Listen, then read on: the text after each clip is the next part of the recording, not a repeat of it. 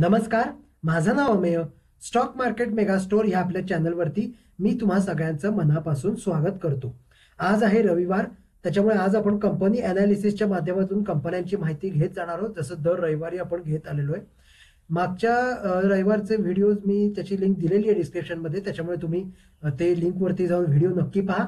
आज आपण data matrix global या आय टी सेक्टरमधल्या कंपनीची माहिती घेणार आहोत.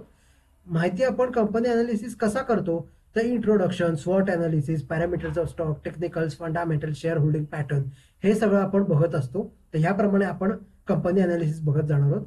ह्याच्या आधी नीड टू नो हे सुद्धा गरजेचं आहे माहिती असणं ह्या गोष्टी. काय नीड टू नो म्हणजे? तर शेअर कधी बाय करायचा कधी होल्ड करायचा आणि कधी विकायचा.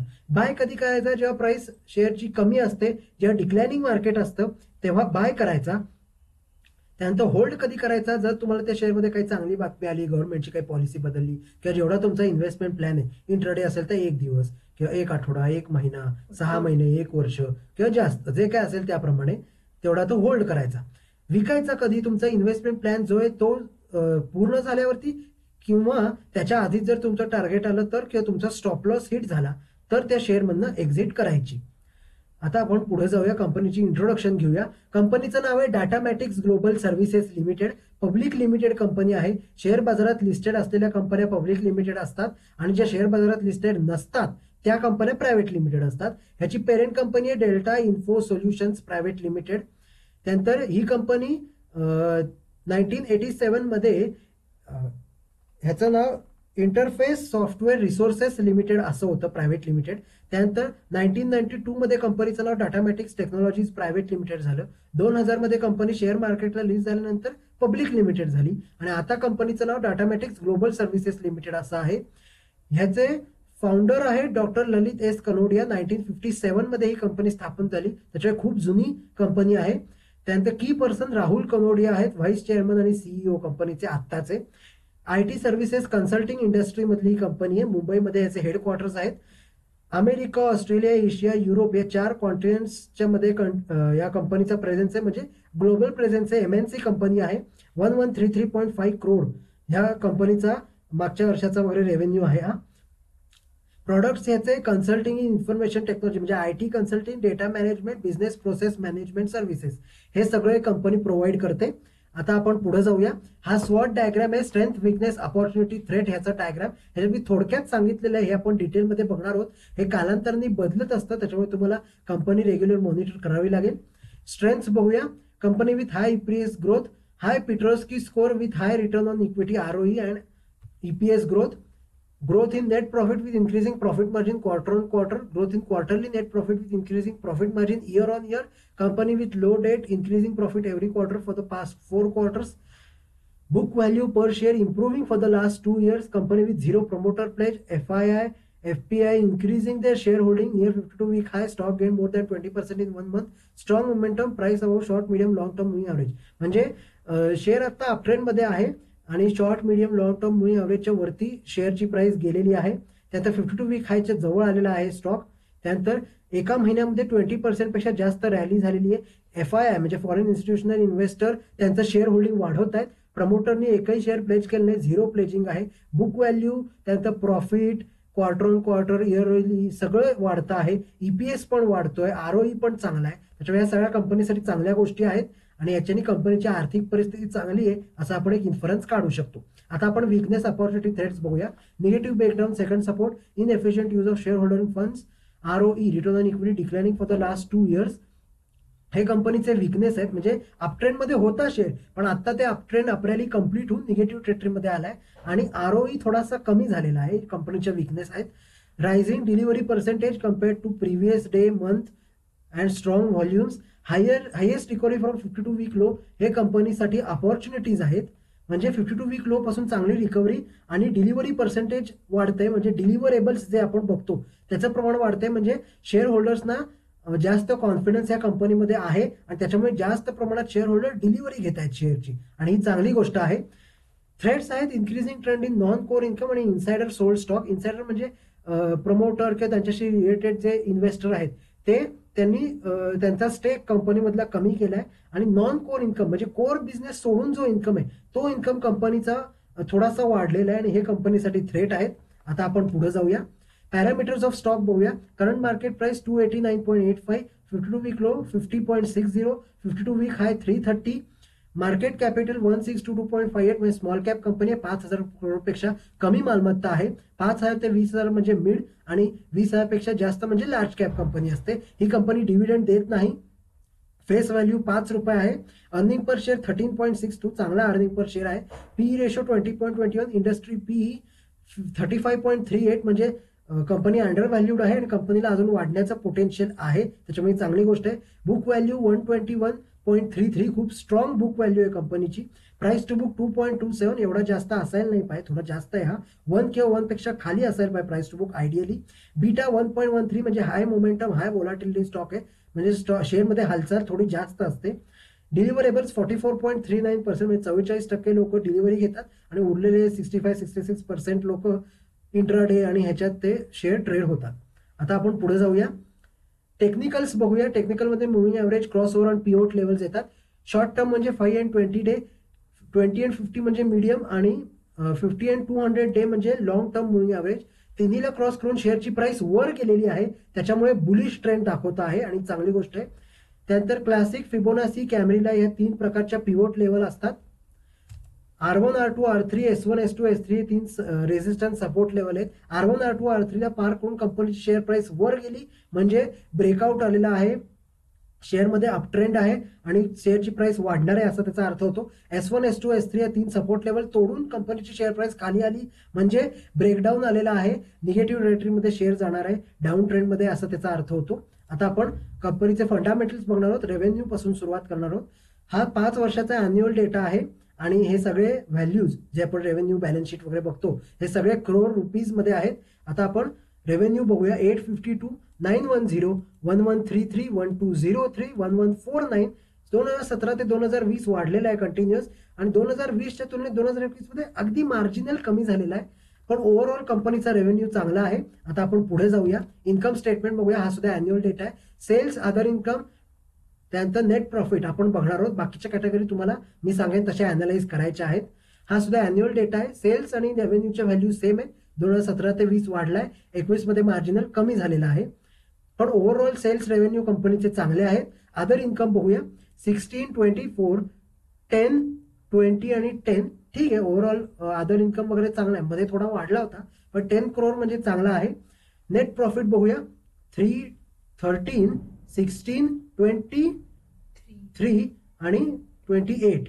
चांगला आहे net profit twenty eight crore म्हणजे चांगला नेट प्रॉफिट आहे. पाच वर्ष कंटिन्युअस वाढत आलेला आहे. त्याच्यामुळे चांगली गोष्ट आहे. आता आपण बॅलन्स शीट बघूया. बॅलन्स शीट सुद्धा हा अॅन्युअल डेटा आहे. पाच वर्षाचा. इथे आपण share capital reserve surplus current liabilities आणि करंट ॲसेट्स बघणार आहोत. बाकीच्या कॅटेगरी तुम्हाला अशाच अॅनालाइज करायच्या आहेत. सगळ्या कॅटेगरी अॅनालाइज करणं गरजेचं आहे. मी सांगेन फक्त तेवढ्या कॅटेगरी बघून कंपनी अनालिसिस होत नाही. बाकीचे फॅक्टर सुद्धा तेवढेच महत्त्वाचे आहेत कंपनीच्या परफॉर्मन्समध्ये शेअर कॅपिटल ट्वेंटी नाईन क्रोरला कॉन्स्टंट आहे. रिझर्व्ह अँड सरप्लस बघूया आपण. Four seventy two five one six six one zero six six four six eight six continuous वाढलेले आहेत रिझर्व्ह अँड सरप्लस ही चांगली गोष्ट आहे. ही कंपनी डिव्हिडंड देत नाही सध्या. पण रिझर्व्ह अँड सरप्लस वाढले ती चांगली गोष्ट आहे आणि डिव्हिडंड बोनस वगैरे कंपनी रिझर्व्ह अँड सरप्लस मधूनच देते. त्याच्यामुळे ही चांगली गोष्ट आहे. करंट लायबिलिटीज बघूया. Four seventy two five one six six one zero six six four six eight six हे रिझर्व्ह सरप्लस होते. करंट लायबिलिटीज बघूया. One thirty three one sixty two one sixty three two fifty nine one fifty four थोडेसे वाढले होते current liabilities दोन हजार सतरा ते दोन हजार वीस. आणि दोन हजार वीसच्या तुलनेत दोन हजार एकवीसमध्ये कमी झालेत आणि ही चांगली गोष्ट आहे. आता आपण करंट ॲसेट्स बघूया. Three fifty two three ninety six four sixty five five six one six आणि six forty one current asset वाढलेले आहेत कंटिन्युअसली चांगली गोष्ट आहे. आणि करंट ॲसेट आणि करंट लायबिलिटी कंपेअर केली तर करंट ॲसेटपेक्षा करंट करंट लायबिलिटीपेक्षा करंट ॲसेट जास्त आहेत. त्याच्यामुळे चांगली गोष्ट आहे. आयडियल सिनेरिओमध्ये सुद्धा current asset should be greater than current liability आता पुढे जाऊया कॅश फ्लो बघूया कंपनीचा अॅन्युअल डेटा हा सुद्धा. ऑपरेटिंग इन्व्हेस्टिंग ऍक्टिव्हिटी आणि नेट कॅश फ्लो आपण बघणार आहोत. ऑपरेटिंग ऍक्टिव्हिटीज बघूया. Eighty six fifty five eighty nine eighty three आणि झिरो म्हणजे ऑपरेटिंग ऍक्टिव्हिटीज बदला दोन हजार एकवीसमध्ये झिरो आहे कॅश फ्लो आणि चांगली गोष्ट नाही कंपनी इलिक्विड आहे. कंपनीमध्ये पैशाचा हो- होत नाही असा त्याचा अर्थ होतो. आणि कुठल्याही कंपनीसाठी ही चांगली गोष्ट नाही. पण ओव्हरऑल बघता दोन हजार सतरा ते दोन हजार वीस पॉझिटिव्ह होता आणि खूप चांगला होता ऑपरेटिंग ऍक्टिव्हिटीजचा कॅश फ्लो त्याच्यामुळे झिरो होणं ही चांगली गोष्ट नाही. इन्व्हेस्टिंग ऍक्टिव्हिटीज बघूया minus twenty three minus thirty seven minus sixty four minus nine आणि झिरो निगेटिव्ह होता निगेटिव्हचा झिरो झाला ही चांगली गोष्ट. पण zero investing activities cash flow ही चांगली गोष्ट नाही. इन्व्हेस्टिंग ऍक्टिव्हिटीज म्हणजे फिजिकल ॲसेटची खरेदी म्हणजे इन्फ्रास्ट्रक्चर बिल्डिंग फर्निचर लँड त्यानंतर सिक्युरिटीज इन्व्हेस्टमेंट आणि म्हणजे शेअर मार्केट जे आपण बघतो हे सगळं इन्व्हेस्टिंग ऍक्टिव्हिटीमध्ये येतं. यातनं कंपनीला चांगले रिटर्न मिळालेले नाही आहेत असा याचा अर्थ होतो. नेट कॅश फ्लो बघूया. Six fourteen minus twelve one twenty five आणि झिरो म्हणजे सिक्स आणि फोर्टीन म्हणजे चांगला होता. नेट कॅश फ्लो कंपनीचा दोन हजार सतरा अठरामध्ये दोन हजार एकोणीसमध्ये निगेटिव्ह गेला. त्यानंतर मेजॉरिटी वाढला वन ट्वेंटी फाईव्ह आणि तिथं डायरेक्ट झिरो म्हणजे काहीतरी मेजर कंपनीमध्ये झालेला आहे. काहीतरी फायनान्शियल कंपनीला प्रॉब्लेम असू शकतो. अजून काही कारण असेल तर तुम्हाला फाइंड आउट करायला लागेल. पॅन्डेमिक सुद्धा असर असू शकतो. पण झिरो कॅश फ्लो ही चांगली गोष्ट नाही. पुढे जाऊया आपण रेशोज बघूया आता. रेशोजमध्ये आपण रिटर्न आणि मार्जिन रेशोज अगोदर बघणार आहोत. त्यानंतर बाकीचे रेशोज बघणार आहोत. Return on network equity R O E बघूया. हे सगळे रेशोजचा डेटा पर्सेंटेजमध्ये आणि हा पाच वर्षाचा अॅन्युअल डेटा आहे. आर ओ ई बघूया. Twelve point nine seven eleven point seven two one one point six four त्यानंतर nine point one nine eleven point one three म्हणजे ओव्हरऑल चांगला आहे रिटर्न ऑन नेटवर्क इक्विटी थोडासा दोन हजार सतरा ते दोन हजार वीस कमी आला होता पण दोन हजार वीसच्या तुलनेत एकवीसमध्ये वाढला वाढलाय आणि चांगली गोष्ट आहे. आर ओ सी बघूया. Eleven point nine four fourteen point three four sixteen point eight seven twelve आणि फिफ्टीन पॉईंट झिरो सिक्स म्हणजे R O C return capital employed सुद्धा चांगला आहे कंपनीचा रिटर्न ऑन ॲसेट्स बघूया.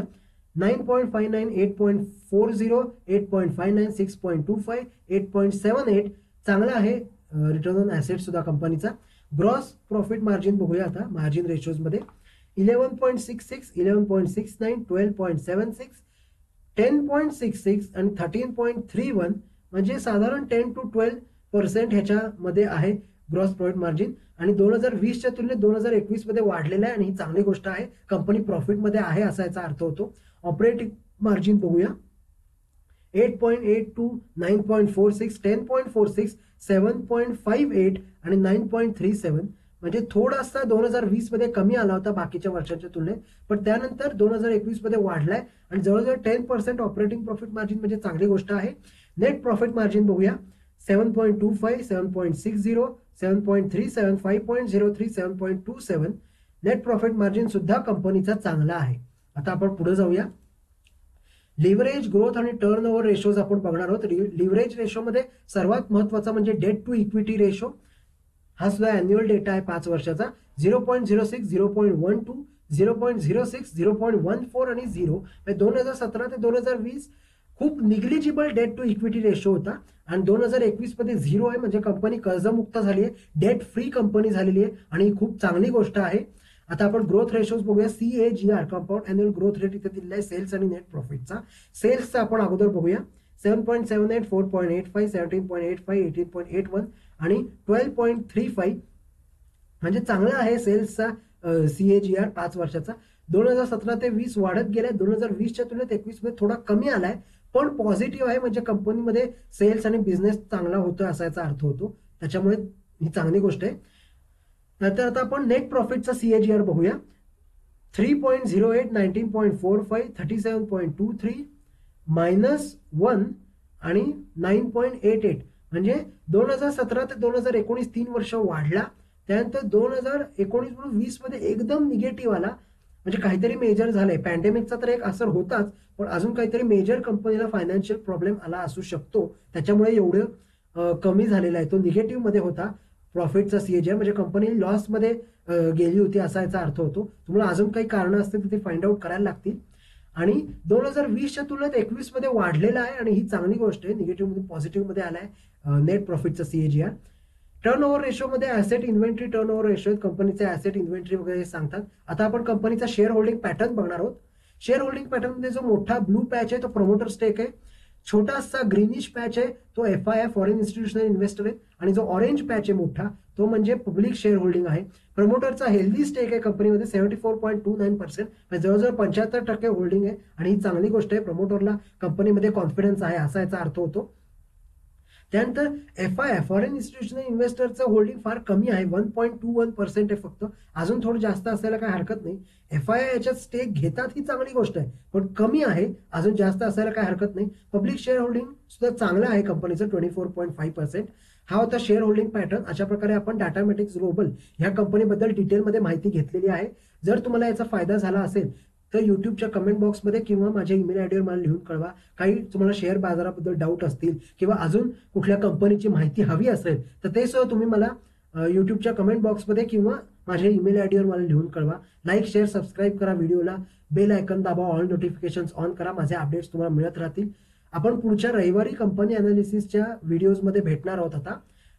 पुढच्या रविवारी आपण एक्सप्रो इंडिया ह्या कंपनीबद्दल माहिती घेणार आहोत. आणि उद्या आपण मार्केट अफेअर्सच्या आपल्या सत्रामध्ये रात्री भेटणार आहोत. आजच्या व्हिडिओमध्ये इथेच थांबूया. धन्यवाद.